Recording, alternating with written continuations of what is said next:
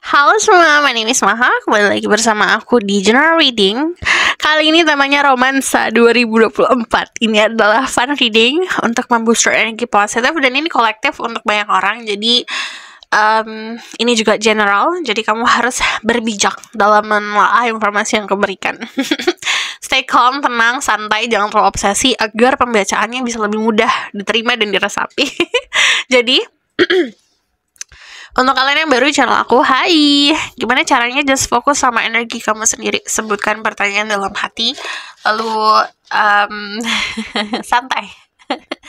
Dan aku bakalan lihat ya, ini romansa 2024 untuk kalian yang pengen dibuatkan secara pick a card, kamu bisa komen di bawah. Kalau banyak yang minta, aku bakalan buat. Eh, bakalan buat. Dan untuk disclaimer lainnya, aku tulis di bawah. Kamu tinggal cek aja. So ini adalah blessing in your romance di 2024 okay.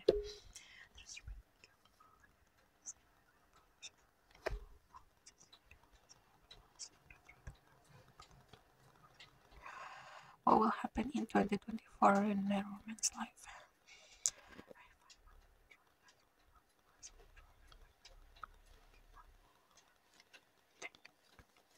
Okay. Romance in 2024. Pesan dari romance angelnya apa? Engagement. Your love life is ascending to high level of commitment and true love. So, tar dulu ya. Sabar. Di sini ada unrequited love. Ada the attraction sama ada trust. Oke. Okay prosesnya gini kalau aku lihat kamu mungkin dari sekarang udah ngerasain ada cinta yang mungkin bertepuk sebelah tangan atau cinta yang memang tidak banyak chemistry-nya gitu. Sebenarnya sudah banyak pelajarannya cuman kadang-kadang manusia tuh suka banget dinaing ada orang-orang di dalam hidup kamu atau pengalaman-pengalaman atau rasa-rasa yang mungkin sakit karena kekecewaan kemarin harus kamu let go belajar let go itu belajar untuk lepasin itu belajar dari sesuatu hal yang memang hmm, mungkin kita terlalu terpaku ngarep banget sama situasi tersebut untuk menjadi lebih baik. Padahal kita udah ngelihat sebenarnya udah dikasih tanda there's nothing in here. Udah nggak ada nih di sini. Istilahnya kayak kamu nyiramin uh, tanah yang tandus gitu. Kamu nanam di situ. Percuma gitu. Udah bukan waktunya kamu terfokus ke situ. Contohnya kayak gitu.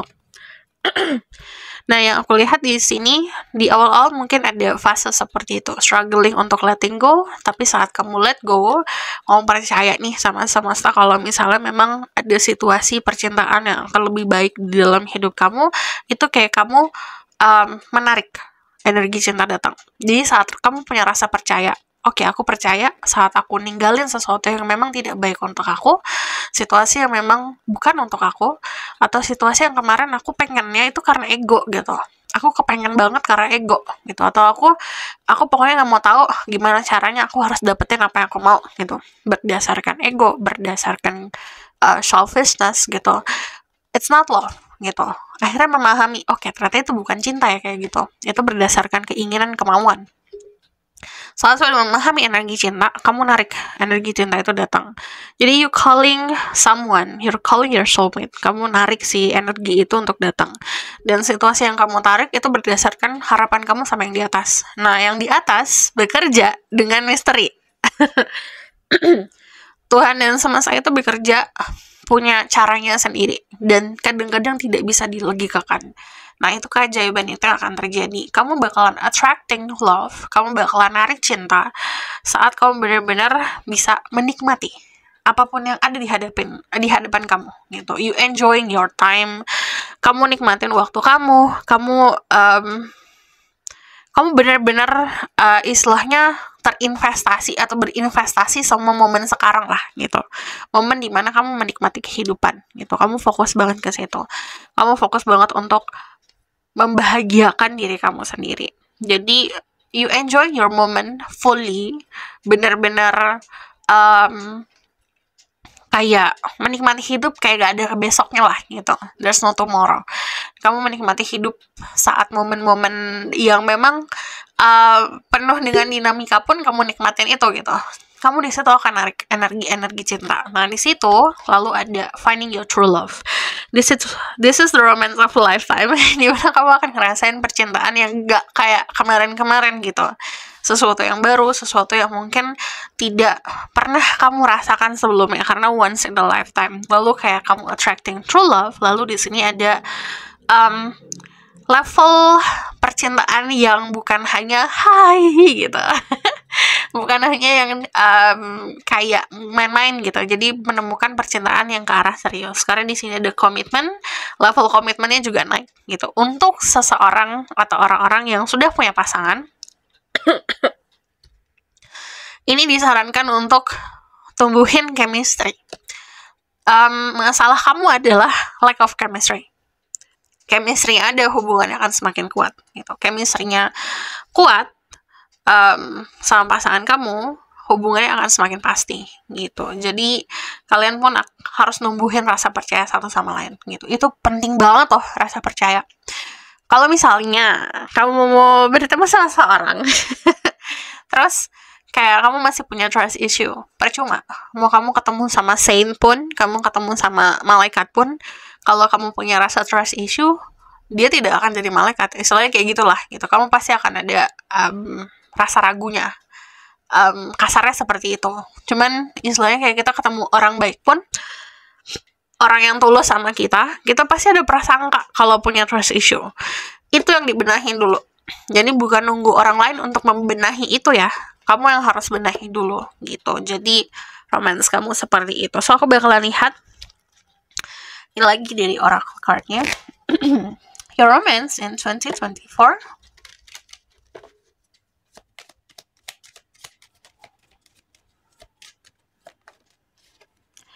ada heartbroken, deeply hurt, sad, separation, breakup, feeling lost, grieving, and mourning.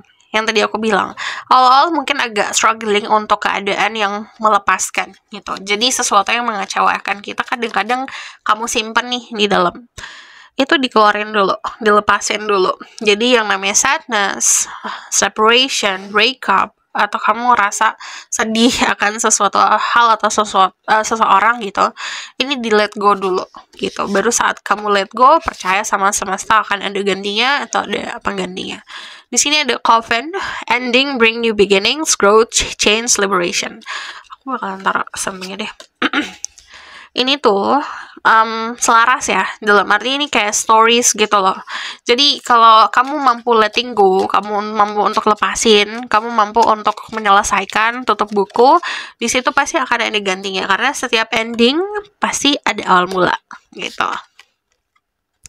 There's a karmic relationship di sini. Fili, fleeting, triggering, turmoil, resentment, lessons, letting go, loving you ini pesannya, ini perjalanan cinta dan romansa kamu tuh kebanyakan di letting go. Karena kalau untuk orang-orang yang susah untuk let go, itu bakalan jadi hubungan karma-karma lagi walaupun sama orang yang baik gitu sama orang yang benar-benar niatnya tulus karena dari diri sendiri masih ada energi tersebut ibaratkan kayak kamu adalah um, kayak ibaratkan gini deh gelas kotor lah gitu. Ibaratkan ya. Gelas kotor mau diisi air sejernih apa pun sebersih apa pun dan air sesehat apa pun kalau gelasnya kotor itu akan jadi keruh juga ujungnya gitu. Jadi keadaannya kayak gitu loh. Jadi terpengaruh. Um, kadang-kadang kamu pernah lihat gak sih kayak ada orang yang toxic gitu? Punya hubungan to uh, orangnya toxic terus ketemu sama orang yang sehat nih orang yang sehat itu juga akan ketularan gitu toksiknya. Sama kayak kita flu. Kita flu kita ketemu teman-teman. Teman-teman kita yang sehat pun akan ketularan. Ada yang mungkin imunnya kuat banget nggak akan ketularan. Itu ada yang kayak gitu tapi uh, berapa persen sih gitu. Jadi untuk bisa kita menyelamatkan future kita, kitanya harus sehat juga gitu loh. Jadi istilahnya uh, di sini ada resentment, ada mungkin dendam, ada yang kamu holding, uh, kamu pegang terus gitu istilahnya.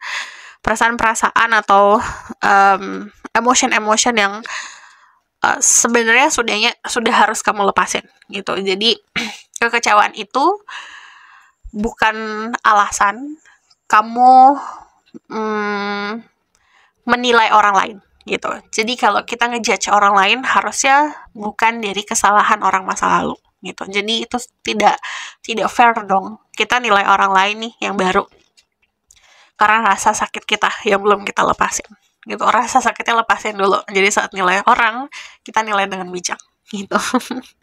baru nanti di sini saat sudah ngelepasin trigger kamu istilahnya ada sesuatu yang men-trigger kamu udah biasa aja gitu hahahin aja. Nah itu adalah fase di mana kamu sudah lepas dari situasi karma berarti.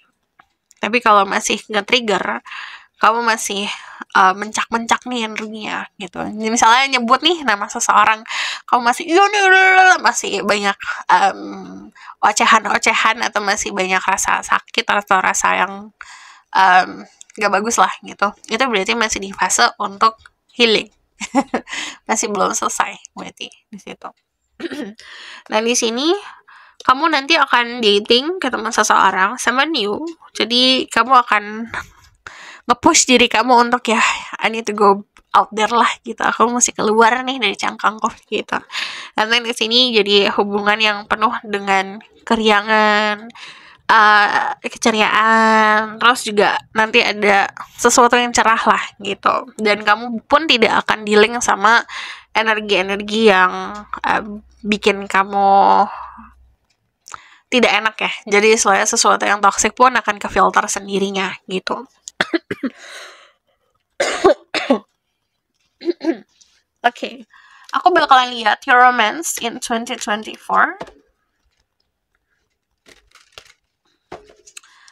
romansamu tahun 2024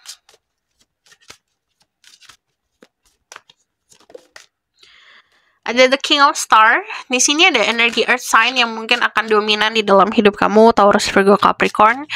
Um, ini adalah seseorang yang very grounded. Jadi sangat damai dan tenang gitu. Uh, your love life itu sangat berpengaruh dari hubungan kamu sama keluarga gitu. Jadi apa pun yang ada di keluarga kamu dibenahi dulu. Jadi karena konsep kita tuh uh, cinta itu pasti awal-awal belajar soal percintaan itu dari kita lihat dari keluarga.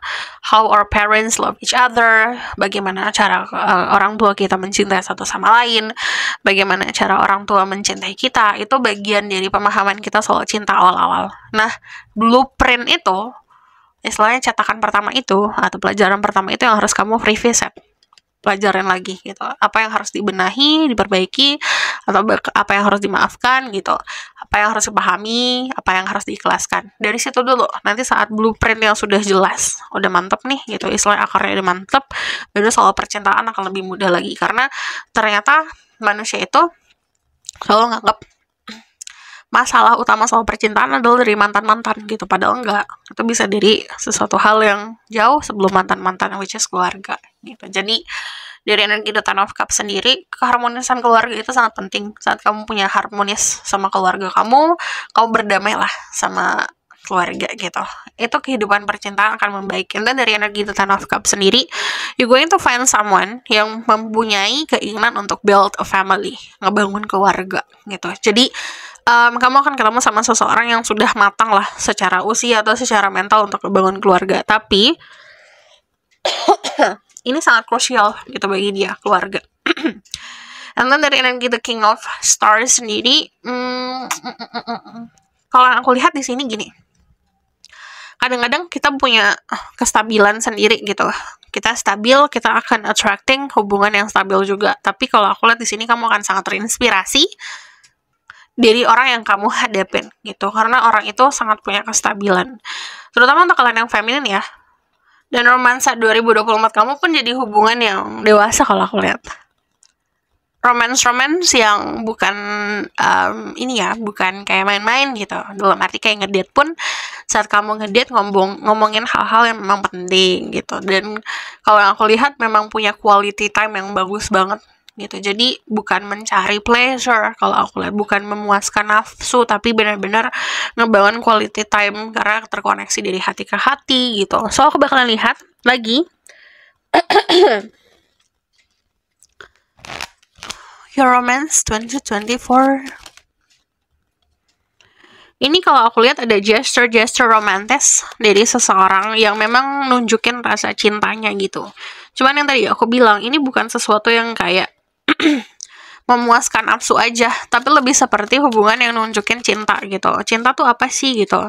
Dan kalau yang aku lihat romansamu karena kamu sibuk dan kamu pun banyak banget yang dealing sama banyak orang dalam arti um, kamu banyak kenalan lah gitu.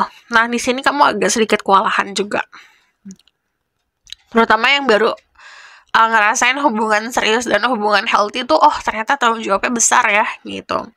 Terus di sini dari energi The Four of Swords ini bakalan jadi hubungan yang bisa bikin tidur kamu lebih nyenyak, bisa bikin nyaman lagi. Dan kalau aku lihat, um, kan ada nih kalau kita punya hubungan yang mungkin punya red flagnya gitu pasti ada orang-orang sekitar kita tuh yang kayak gak setuju gitu cuman ini akan jadi hubungan yang sekitaran kamu pun happy gitu. Jadi dari energi the six of wands very supportive energi dari orang-orang sekitar. Jadi cinta yang kamu dapat bukan dari someone special aja atau dari kamu ngasih ke someone special tapi dari orang-orang sekitar kalian gitu. Jadi um, itu bakalan kerasa banget. Nah yang aku lihat romance kalian pun ini bakalan jadi romance yang uh, saling nge-push untuk sukses kalau aku lihat. Jadi hubungannya benar-benar dewasa gitu. Jadi contoh misalnya butuh apa untuk sukses, aku bakalan providing itu gitu. Jadi aku akan berusaha gimana nih caranya nih untuk bisa kau berkembang gitu dan saling gitu sama-sama gitu. Jadi obrolan kalian pun atau uh, koneksi kalian itu bukan hanya karena koneksi yang ha hihihi main-main gitu. Enggak ini karena memang untuk the future gitu. So yang aku lihat dari energi dan of cups itu energi bucin banget kan uh, bucin banget kan? Tapi ini tuh munculnya tuh um, dalam bentuk yang benar-benar bisa kamu andalkan lah gitu. Jadi istilahnya dia bakalan ada gitu. Jadi adanya bukan karena kayak egoisan ya, karena aduh aku kangen karena aku pengen kamu ada di sini aja gitu. Enggak, tapi istilahnya dia ada untuk support kamu, ada untuk ngebantu kamu dan saling seperti itu gitu. Jadi ini hubungannya sehat. tapi tidak jenuh karena punya rasa uh, masih ada rasa curious kayak penasa gitu kayak penasaran sama satu sama lain. Kenapa aku belepotan? Ngomongnya. So aku bakalan lihat pesan-pesannya lagi. Ini dari oracle card yang bentuknya hati ini. Aku lupa namanya apa ya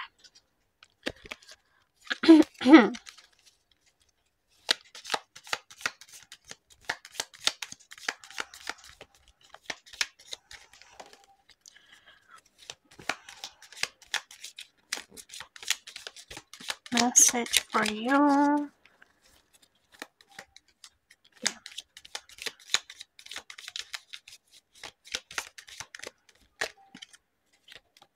Okay. Deep in your heart, you already know the answer to what is feel right. Di dalam hati kamu kamu udah tahu jawabannya. Kamu laku tinggal lakuin apa yang kamu anggap benar aja gitu. Terus di sini give thanks for the blessing of love soon to come your way. Jadi kamu sebelum cinta itu datang kamu bersyukur dulu untuk kehidupan kamu yang sekarang dan apa yang akan datang gitu. Jadi istilahnya kalau konsepnya bersyukur itu kayak istilahnya nih cinta mau datang. Terus kamu bersyukur oh cintanya mau datang nih gitu cinta itu akan semakin senang datang ke kamu karena ngerasa di welcome gitu. Know that you deserve to be and have all that your heart truly desire. Kamu harus percaya kalau kamu berhak untuk mendapatkan apa yang akan datang gitu. Percaya dulu. Di sini ada transformation. Your relationship with one another is about to deepen love conquers and transform all things. Jadi yang namanya cinta itu bakalan mengubah segalanya. Hmm.